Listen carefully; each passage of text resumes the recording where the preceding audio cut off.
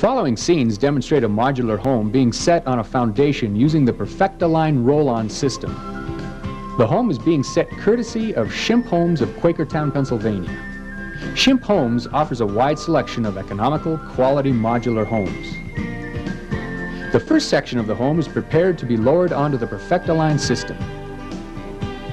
The home is then lowered onto lightweight aluminum H-beams. The Perfect-A-Line free-rolling dolly system is now ready to roll. The beams and support stands are ready to receive the first section of the home. A come-along or boat winch is used to roll on the first section. The next step will be to remove the beams and rollers from the section. The home is lowered onto the foundation using the multi-purpose jack stands. The outboard beams will now need to be removed to place the second section of the home.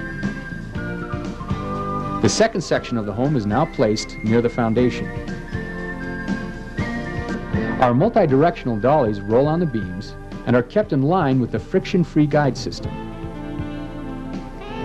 The jacks of the Perfect-A-Line system are placed low on the stand for easy accessibility.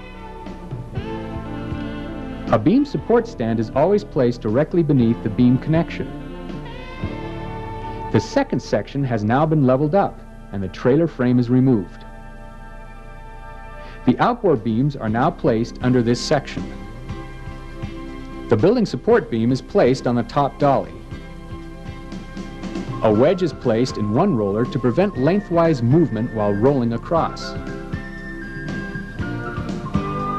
Hydraulic jacks are now used to lower the section onto the rolling system. The home is then rolled onto the foundation. This is often done by hand with the Perfect-A-Line system. A space is left between the two sections until the roof is jacked into position. Wall jacks are positioned in preparation to raise the roof. Each section of the roof is raised separately. With both roof sections in position, the sections are ready to marry together.